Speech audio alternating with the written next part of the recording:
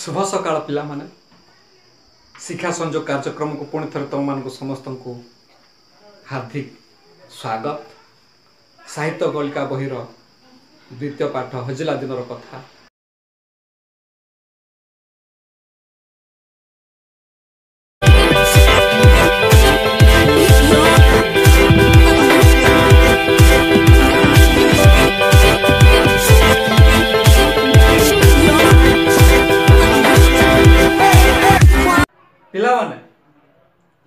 ସମସ୍ତେ କିଛି ଅଧିକ ଅଭ୍ୟାସ କାର୍ଯ୍ୟ ଗୁଡ଼ିକର ପ୍ରଶ୍ନର ଉତ୍ତର ଲେଖିଲ। ବହୁତ ଖୁସି ଲାଗିଥିବ ତୁମକୁ। ଏବେ ତୁମେ ଅନେଇ ରହିଥିବ ଯେ ଗୁରୁଜୀ ହଜିଲା ଦିନର କଥା ପାଠର ଯେଉଁ ଆମେ ଅଭ୍ୟାସ କାର୍ଯ୍ୟ କରିଛୁ ତାର ଉତ୍ତର ଗୁଡ଼ିକ କେବେ ଆମକୁ ଦେଖେଇବେ ଯେ ଆମେ ଠିକ୍ ଭୁଲ ଯାଞ୍ଚ କରିବୁ। ସମୟ ହେଇଯାଇଛି। ଆମେ ଦୁଇଟି ଭାଗରେ ଅଭ୍ୟାସ କାର୍ଯ୍ୟର ପ୍ରଶ୍ନ ଗୁଡ଼ିକର ଆଲୋଚନା କରିଥିଲେ। ନାଇଁ ତା ପ୍ରଥମ ଭାଗରେ କଥାବାର୍ତ୍ତା ଥିଲା ଏକ ନମ୍ବର ସେଥିରେ କିଛି ପ୍ରଶ୍ନ ଗୁଡ଼ିକର ଉତ୍ତର ଦେବାର ଥିଲା ସେମିତି ବାକ୍ୟ ଗଠନ ଥିଲା ଆହୁରି ଅନେକ ଥିଲା। ଏବେ ତମେ ସେ ଉତ୍ତର ଗୁଡ଼ିକ ଦେଖ ଆଉ ନିଜର ଖାତାରେ ଠିକ ଭୁଲ ଯାଞ୍ଚ କରିବ। ହଜିଲା ଦିନର କଥା ଅଭ୍ୟାସ କାର୍ଯ୍ୟ। ପ୍ରଥମ ପ୍ରଶ୍ନରେ ସୂଚନା ଅଛି ପିଲାମାନେ କଥାବାର୍ତ୍ତା ହେବା। ଏଠି ପ୍ରଥମ ପ୍ରଶ୍ନ ତୁମର ମୋବାଇଲ ପରଦାରେ ଦେଖାଯାଉଥିବ। ଯେଉଁଟା ପ୍ରଶ୍ନର ମୁଖ୍ୟ ଉତ୍ତର ତାହା ତ ନିଶ୍ଚିତ ଭାବରେ ରହିବ। ଭାଷା ଦୃଷ୍ଟିରୁ ଟିକେ ଏପଟ ସେପଟ ହେଇପାରେ। ସେଥିପାଇଁ ତୁମର ଚିନ୍ତା କରିବାର କିଛି ନାହିଁ। ତାହେଲେ ଆସ ଦେଖିବା ପ୍ରଥମ ପ୍ରଶ୍ନ। ସକାଳ ବୁଲାରୁ ଫେରି ମଧୁବାବୁ କ'ଣ ଦେଖିଲେ? ସକାଳ ବୁଳାରୁ ଫେରି ମଧୁବାବୁ କୁନି କୁନି ଛୁଆମାନଙ୍କୁ କାଖେଇ କସ୍ତା ପିନ୍ଧି ଠିଆ ହୋଇଥିବା ସ୍ତ୍ରୀ ଲୋକମାନଙ୍କୁ ଦେଖିଲେ। ମଧୁବାବୁ ସୁଦାମ ଉପରେ କାହିଁକି ରାଗିଲେ? ଖ ନମ୍ବର ପ୍ରଶ୍ନ। ତ ପିଲାମାନେ ଏହାର ଉତ୍ତର କ'ଣ ହେବ? ମଧୁବାବୁଙ୍କ ଅଜାଣତରେ ସୁଦାମ ଗରିବମାନଙ୍କୁ କ୍ଷୀର ବିକ୍ରି କରୁଥିବାର ଜାଣି ସେ ସୁଦାମ ଉପରେ ରାଗିଗଲେ। ଗ। ସୁଦାମର କଥା ଶୁଣି ମଧୁବାବୁ କ'ଣ କହିଲେ? କ'ଣ କହିଲେ ପିଲାମାନେ? ଗାଈମାନଙ୍କର ଖାଦ୍ୟ ଅଭାବ ହେଉଛି ଯଦି ତାଙ୍କୁ କହିଥାନ୍ତେ। ଏତେ ବଡ଼ ଉତ୍କଳ ଟ୍ରେନରେ ଜୋତା କାରଖାନାର ନିଲାମକୁ ସେ ସହ୍ୟ କରିପାରିଛନ୍ତି ଗରିବମାନଙ୍କୁ କିଭଳି କ୍ଷୀର ବିକିବେ? ଲୋକେ ତାଙ୍କୁ କ'ଣ କହିବେ ବୋଲି ସୁଦାମକୁ କହିଲେ ପ୍ରଶ୍ନ ଘ ଗରିବ ଲୋକମାନଙ୍କୁ କ୍ଷୀର ଦେବା ବିଷୟରେ ମଧୁବାବୁ ସୁଦାମକୁ କି ପରାମର୍ଶ ଦେଲେ? ତାହେଲେ ପିଲାମାନେ ଏହାର ଉତ୍ତର କ'ଣ ହେବ? ଗାଈ ଦୁହାଁଳ ଥିବା ପର୍ଯ୍ୟନ୍ତ ଗରିବ ଲୋକମାନଙ୍କୁ ମାଗଣାରେ କ୍ଷୀର ଦେବା ପାଇଁ ମଧୁବାବୁ ସୁଦାମକୁ ପରାମର୍ଶ ଦେଲେ। ଏବେ ଶେଷ ପ୍ରଶ୍ନ ମଧୁବାବୁଙ୍କର ଅଭାବ ଘଟିଲା କାହିଁକି? ତାହେଲେ ଉତ୍ତର ତାଙ୍କର ଉତ୍କଳ ଟେନେରୀ ଜୋତା କାରଖାନାରେ ଜୋତା ପ୍ରସ୍ତୁତି ସମୟରେ ଜୋତାରେ ଟିକିଏ ଖଇଚା ଦେଖିଲେ ପୋଡ଼ି ଦେଉଥିଲେ। ଫଳରେ ତାଙ୍କର କ୍ଷତି ହେଲା ଏବଂ ଅଭାବ ଘଟିଲା। ତାହେଲେ ପ୍ରଥମ ପ୍ରଶ୍ନର ଉତ୍ତର ଏଠି ଶେଷ ହେଲା। ପ୍ରିୟ ବିଦ୍ୟାର୍ଥୀ ଏବେ ପ୍ରଶ୍ନ ନମ୍ବର ଦୁଇ। ବହିପତ୍ର ପାଣି ପବନ ପରି ଏହି ବିଷୟରେ ପଢ଼ିଥିବା କେତୋଟି ଯୋଡ଼ା ଯୋଡ଼ା ଶବ୍ଦ ଖୋଜି ବାହାର କରିବା। ଏଠି ଦେଇଛି ବହିପତ୍ର ପାଣି ପବନ। ଠିକ୍ ସେହିପରି ହେଇପାରେ। ଜମିବାଡ଼ି ଘରଦ୍ୱାର କ୍ଷେତବାଡ଼ି ଇତ୍ୟାଦି। ତାହେଲେ ଏଠି ବିଶେଷ ଧ୍ୟାନ ଦେବାର ଅଛି ଆମେ ବହିରୁ ହିଁ କାଢ଼ି ଲେଖିବା ଯେପରି ଖାଇ ପିଇ ବଳହାକ ନଡ଼ାପାଳ ଜଣାଶୁଣା ବିଡ଼ା ବିଡ଼ା ଗୁହାଳ ଗୋବର ଦୁଃଖ ଦୁର୍ଦ୍ଦଶା ହେଲା ତିନି ନମ୍ବର ଚକ୍ରଟିକୁ ଦେଖି କିଏ କେଉଁ ଉପାଧିରେ ଭୂଷିତ ତାହା ତଳେ ଲେଖ ଭଲ କରି ଆମକୁ ଚକ୍ରଟିକୁ ଦେଖିବାକୁ ପଡ଼ିବ ତାପରେ ଉତ୍ତର ବାହାର କରିବା ଆମେ। ଏଇ ଯେମିତି ମଧୁସୂଦନ ଦାସ ଉତ୍କଳ ଗୌରବ। ଗୋପବନ୍ଧୁ ଦାସ ଉତ୍କଳ ମଣି। ଯଦୁମଣି ମହାପାତ୍ର ଉତ୍କଳ ଘଣ୍ଟ। ହରେକୃଷ୍ଣ ମହତାବ ଉତ୍କଳ କେଶରୀ। କୁନ୍ତଳା କୁମାରୀ ସାବତ ଉତ୍କଳ ଭାରତୀ। ପଦ୍ମଚରଣ ରାୟ ଉତ୍କଳ ଭୀମ। ହେଲା। ପ୍ରଶ୍ନ ନମ୍ବର ଚାରି କେଉଁ ଶବ୍ଦର ଅର୍ଥ କ'ଣ ତାହା ପତ୍ରରୁ ଖୋଜି ବାହାର କରି ଦେଖିବା? ତଲାସ। ତଲାସର ଅର୍ଥ କ'ଣ? ଅନୁସନ୍ଧାନ କରିବା। ହେପାଜତ। ଯତ୍ନ ନେବା। ନିସ୍ତେଜ। ମଳିନ। କିଲ୍ଲା। ଗଡ଼। ହେଲା ପିଲାମାନେ। ଏବେ ଆମେ ପ୍ରଶ୍ନ ନମ୍ବର ପାଞ୍ଚକୁ ଯିବା। ତଳ ଲିଖିତ ଉତ୍ତର ଗୁଡ଼ିକ ପାଇବା ପାଇଁ ଆସ ପ୍ରଶ୍ନ ତିଆରି କରିବା ଓ ଲେଖିବା। କ। ଛୁଆଗୁଡ଼ିକ ଫୁଙ୍ଗୁଳା ପତଳା ଓ ଦୁର୍ବଳ ଚେହେରାର ଥିଲେ। ପ୍ରଶ୍ନ କ'ଣ ହେବ? ଛୁଆଗୁଡ଼ିକ କିପରି ଥିଲେ? ଖ। ସୁଦାମର ଘର ବିଡ଼ା ନାସିରେ ପ୍ରଶ୍ନ କ'ଣ ହେବ? ସୁଦାମର ଘର କେଉଁଠି? ଗ। ଜୋତାଗୁଡ଼ିକ ଦେଶ ବିଦେଶକୁ ଚାଲାଣ ହେଉଥିଲା। ପ୍ରଶ୍ନ କ'ଣ ହେବ?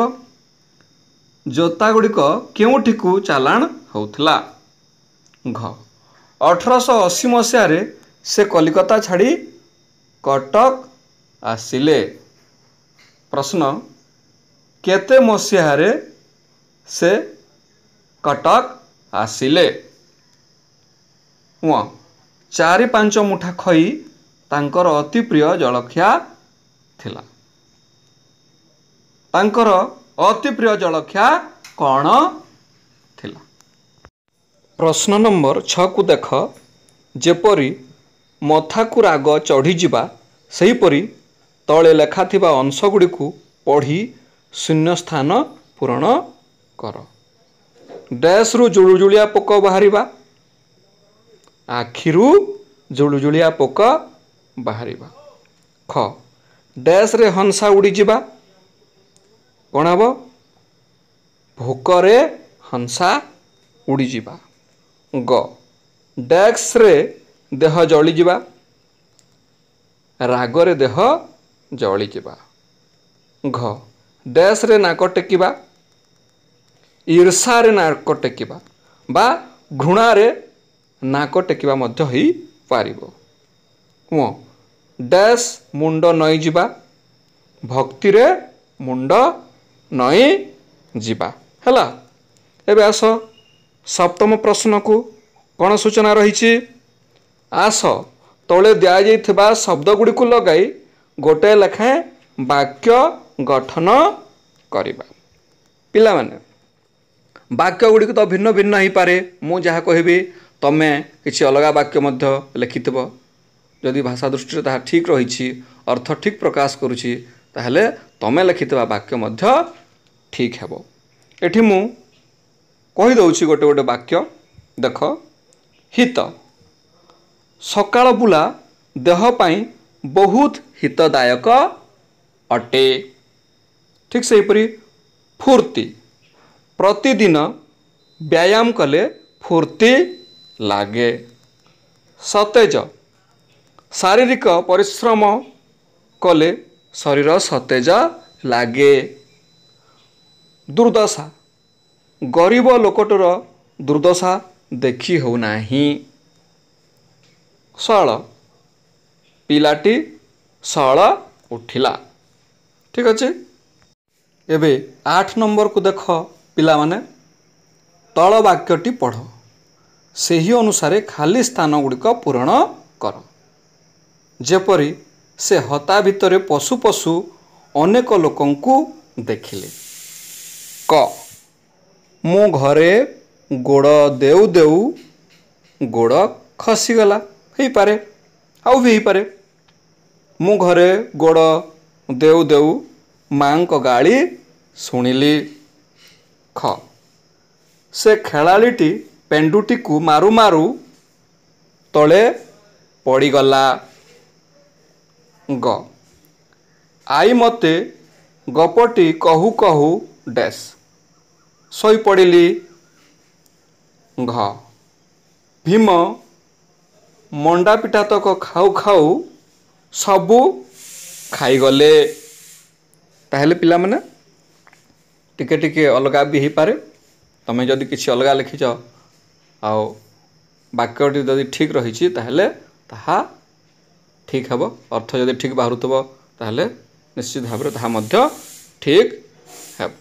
ହେଲା ଏବେ ପ୍ରଶ୍ନ ନମ୍ବର ନଅକୁ ଆସିବା। କ ସ୍ତମ୍ଭର ଯେଉଁ ଶବ୍ଦ ସହିତ ଖ ସ୍ତମ୍ଭରେ ଥିବା ଯେଉଁ ଶବ୍ଦର ସମ୍ପର୍କ ଅଛି ତାକୁ ବାଛି ଏକାଠି କରିବା ଓ ଗ ସ୍ତମ୍ଭର ନୂଆ ଶବ୍ଦଟି ଲେଖିବା। ମେଳନ କର।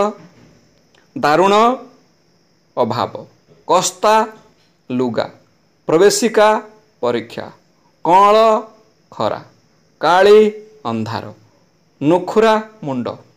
ହେଲା ତାପରେ ଗ ପଟେ ଯେଉଁ ଶୂନ୍ୟ ସ୍ଥାନ ଦେଇଛି ସେଥିରେ ତାକୁ ଲେଖିବାକୁ ପଡ଼ିବ। ଦାରୁଣ ଅଭାବ କସ୍ତା ଲୁଗା ପ୍ରବେଶିକା ପରୀକ୍ଷା କଅଁଳ ଖରା କାଳି ଅନ୍ଧାର ନୁଖୁରା ମୁଣ୍ଡ।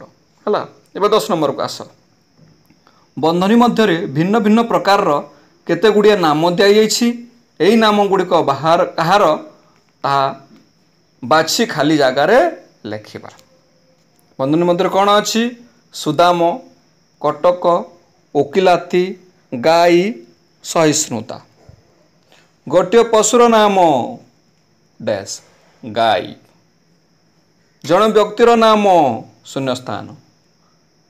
ସୁଦାମ। ଗୋଟିଏ ସ୍ଥାନର ନାମ କଟକ ଏକ ପ୍ରକାର ଜୀବିକାର ନାମ ଓକିଲାତି ଗୋଟିଏ ଭଲ ଗୁଣର ନାମ ସହି ସ୍ନୁତା। ହେଲା ପିଲାମାନେ ଏବେ ଆମେ ପ୍ରଶ୍ନ ନମ୍ବର ଏଗାରକୁ ଆସିବା। ଫୁଲର ପାଖୁଡ଼ା ମଧ୍ୟରୁ ଗୋଟିଏ ଗୋଟିଏ କାମକୁ ବାଛି ତଲେ ଦିଆଯାଇଥିବା ଶୂନ୍ୟ ସ୍ଥାନ ପୂରଣ କରିବା। ଦେଖ। ଫୁଲର ପାଖୁଡ଼ାକୁ ଦେଖ ଏବଂ ସେ ଅନୁସାରେ ପୂରଣ କରିବା ସୁଦାମ ଗାଈମାନଙ୍କର ହେଫାଜତ କରେ ସୁଦାମ ସବୁ ଜିନିଷର ତଦାରଖ କରେ ସୁଦାମ ବାବୁଙ୍କର ବୋଲ ହାକ କରେ ମଧୁବାବୁ ପ୍ରବେଶିକା ପରୀକ୍ଷାରେ ପାସ୍ କରିଥିଲେ ମଧୁବାବୁ ଜଲିଖିଆରେ ଖଇ ଖାଉଥିଲେ। ଉତ୍କଳ ଟେନେରୀରେ ଓଡ଼ିଆ କାରିଗରମାନେ ଜୋତା ତିଆରି କରୁଥିଲେ।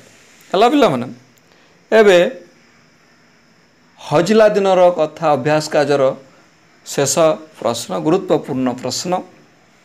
ବାର ନମ୍ବର ପ୍ରଶ୍ନ ମଧୁବାବୁଙ୍କ ବିଷୟରେ ଯାହା ଜାଣିଲେ ପାଞ୍ଚଟି ବାକ୍ୟ ଲେଖିବା। ତାହେଲେ ତୁମେ ତ ତା ପୂର୍ବରୁ ମଧ୍ୟ ଲେଖି ସାରିଛ।